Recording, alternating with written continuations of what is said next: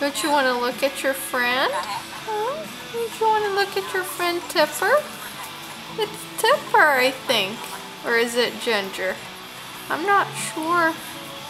But it's one of your friends. Yes, look. Very good.